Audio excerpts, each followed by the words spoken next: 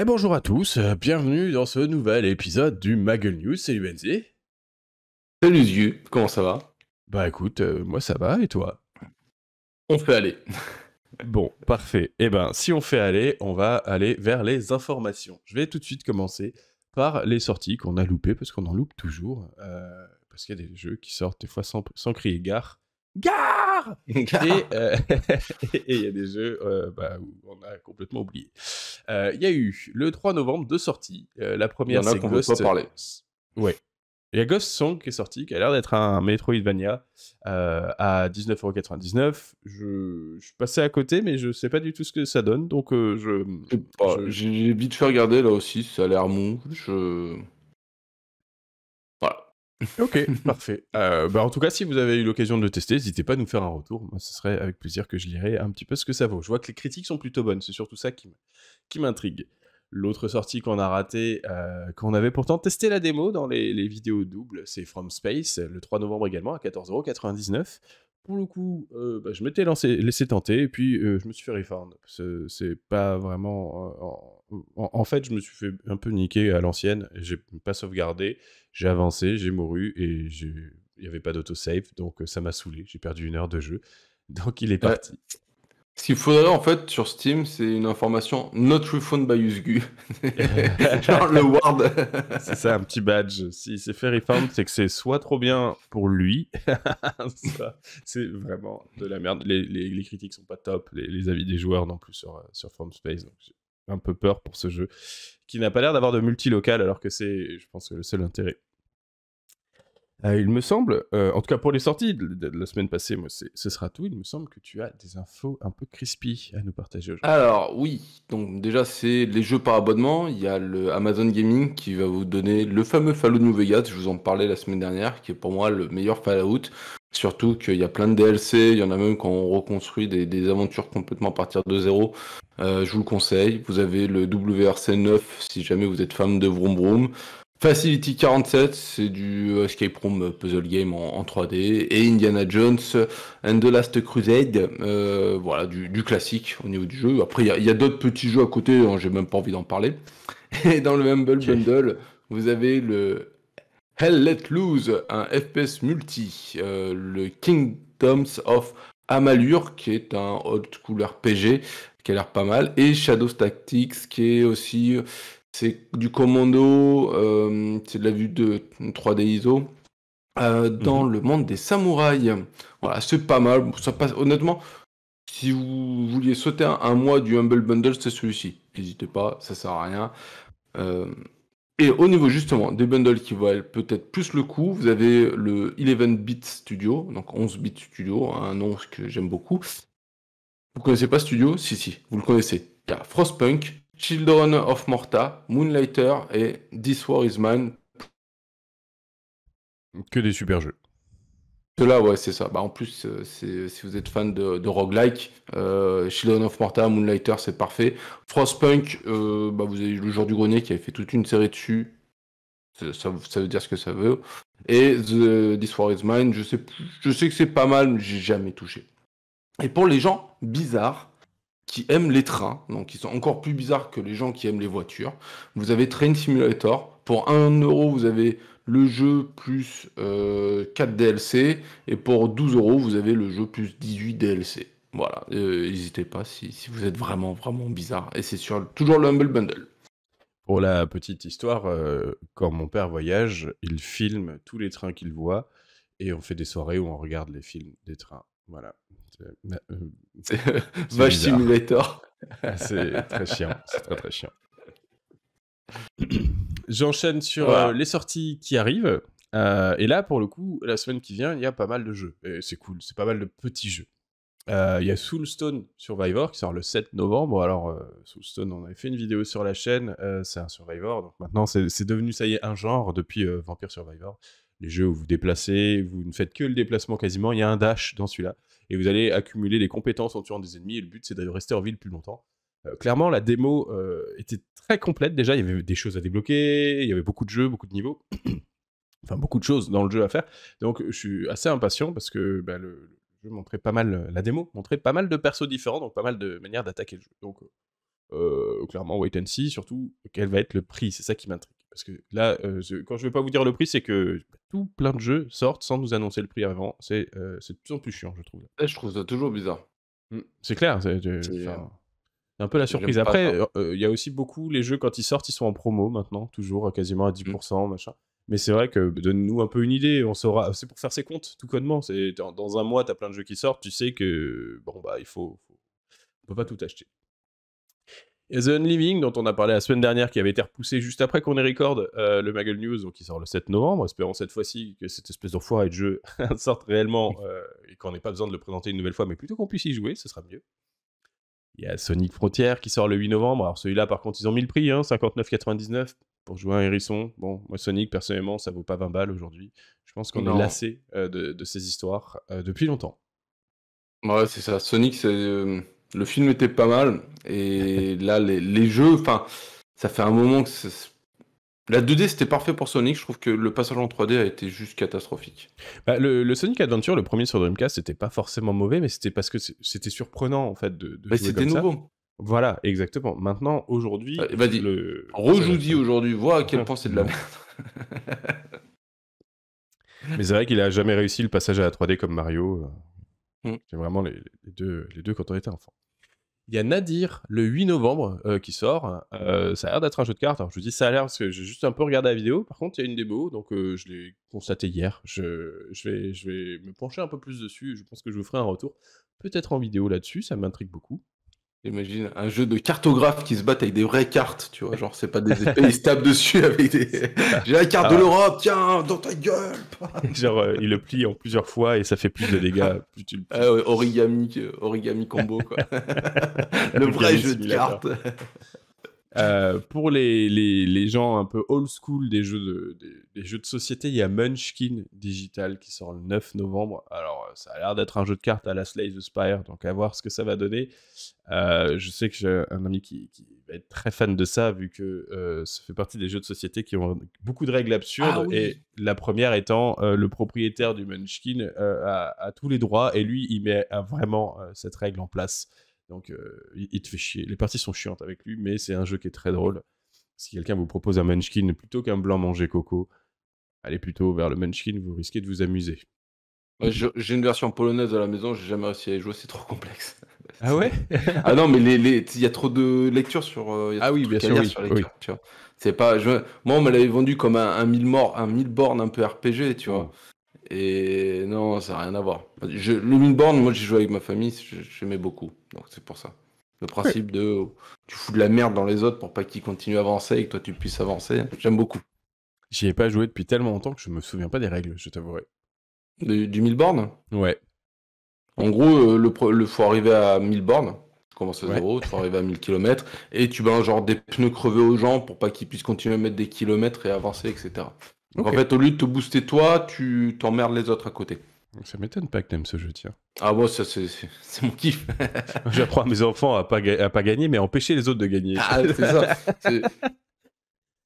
Pour gagner, il faut rabaisser les autres. C'est la meilleure technique. Euh, il me reste encore quelques petites sorties. Il y a deux jeux VR euh, qui arrivent, qui, sont intrigants. Le premier, c'est The Patcher. Euh, je vais tester une vieille bêta. Ça, ça avait l'air d'être horrible. Euh, mais en fait, les derniers trailers euh, donnent, des, donnent un peu plus envie. Ça, ils ont essayé de faire un espèce de Monster Hunter-like euh, en VR. mais avec des trucs futuristes. Donc bon, déjà les monstres, ils ont des vieilles gueules. Ça, c'est un peu dommage. Enfin, visuellement, il y a un problème. Et il y a aussi du versus. c'est justement là où moi, quand j'ai testé la démo, je me suis dit, oh mon dieu, qu'est-ce que c'est que cette merde? Mais j'ai vraiment envie de tester le produit fini parce que les, les early beta, c'est jamais vraiment une bonne idée sur certains jeux. Surtout en VR. Les early beta en VR, euh, c'est autant mettre ta tête dans un seau à merde, quoi. T'as l'odeur en plus. C'est ça. et le même jour, euh, et là, ça risque de faire quelques jaloux de ne pas avoir de casque VR, il y a le, donc le 10 novembre Among Us VR qui sort. Euh, les trailers donnent grave envie. Moi, j'aime pas Among Us, clairement, euh, parce que c'est un jeu qui. Je, suis mauvais en bluff, en fait, et quand je perds en premier, ça me saoule tout de suite pour le reste de la partie, parce que j'ai plus envie de jouer, j'ai envie de me casser. Euh, mais en, VR, ça a l'air d'être vraiment cool. Et ah, je comprends. Pourquoi aller sur les versions gratuites qu'ils ont fait dans VRChat par exemple ou des choses comme ça? Autant, autant payer pour. bah, surtout, on ne connaît pas encore le prix, donc je suis assez curieux. Euh, sur PC, le Among Us de base n'est pas hyper cher, donc euh, il est même gratuit sur téléphone de souvenir, donc euh, bon, à voir. mais ça, il y a de fortes chances que, bah, que vous le voyez sur la chaîne, hein, clairement. Je fasse une petite session avant de me le faire refund. Hein. Ce sera une session de deux heures maximum.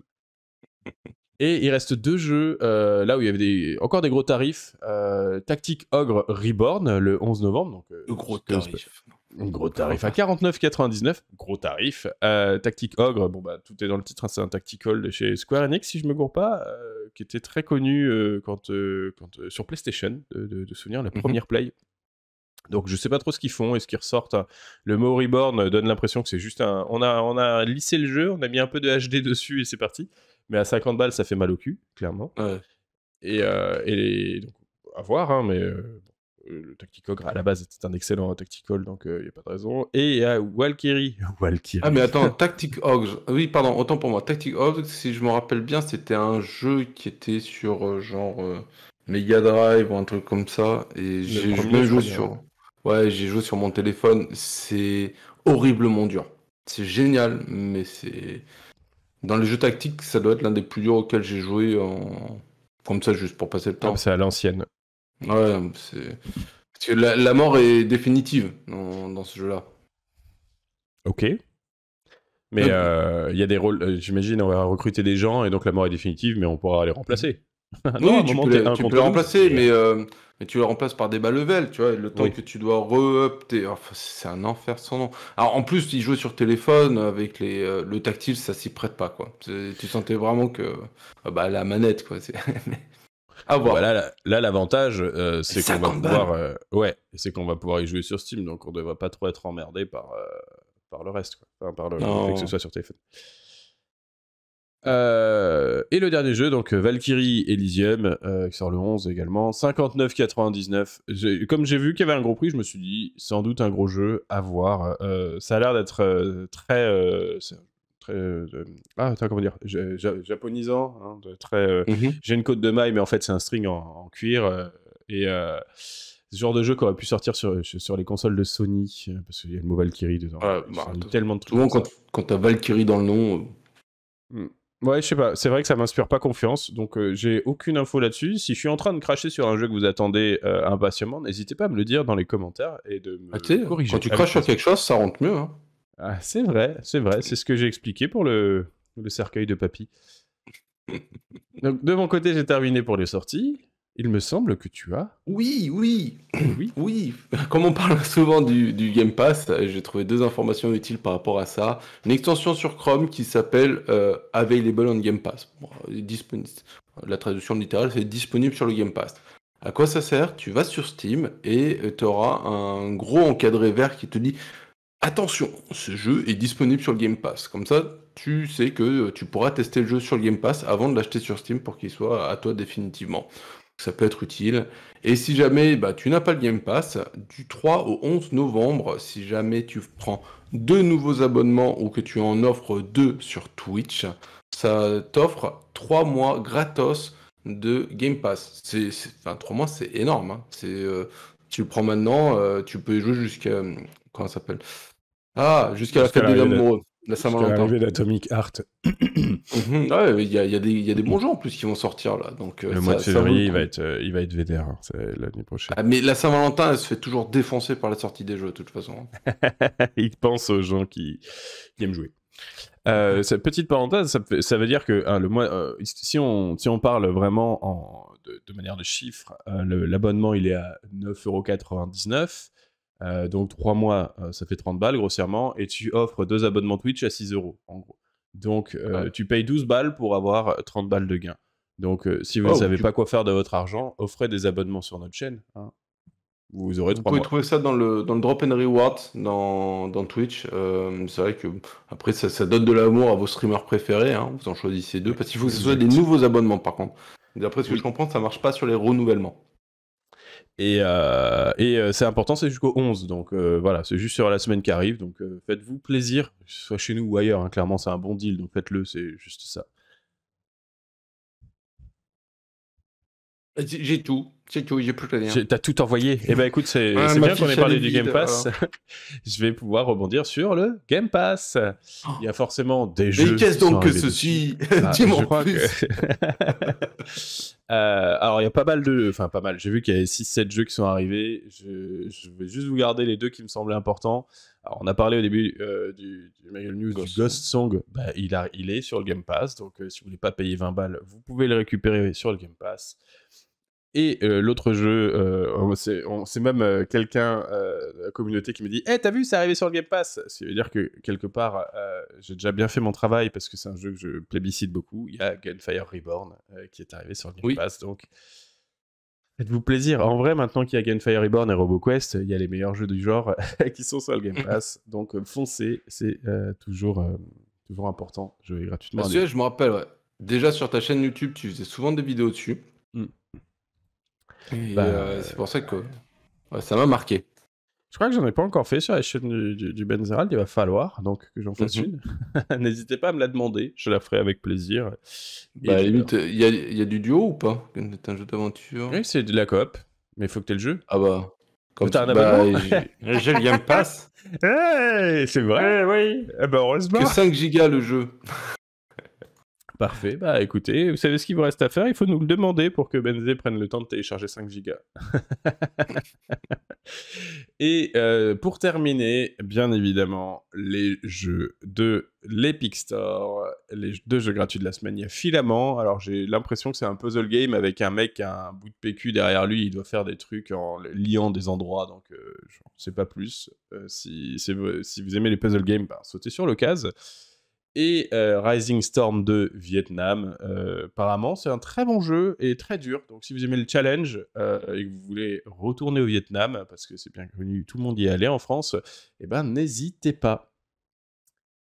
Voilà pour, pour les infos de la semaine, mes petites gueules. Je crois qu'on a tout de ton côté également. Et tout de bon côté également. Eh ben, C'est mon dernier mot. Et vous savez ce qu'il vous reste à faire? Envoyez des abonnements, récupérez le Game Pass et faites-vous plaisir. Voilà, exactement.